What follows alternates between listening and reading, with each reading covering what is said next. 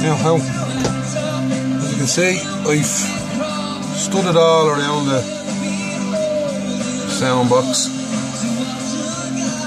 Put some inlay, gold inlay around.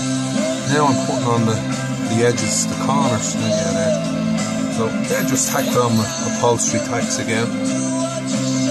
Put the box around it. There you go. That's all you do. Stick it on. Your tack in the middle, not preferably in the middle, you know.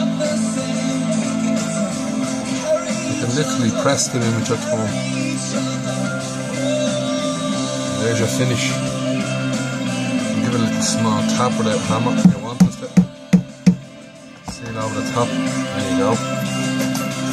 I'm going to carry on with the rest of them, finish the, the top and the bottom.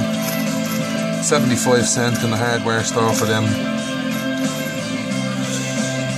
The, the edges, you know, they're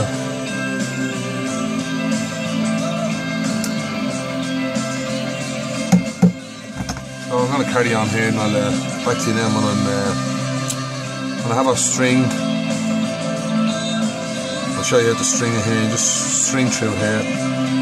Connect to this, this piece that I carved out. Connect your string.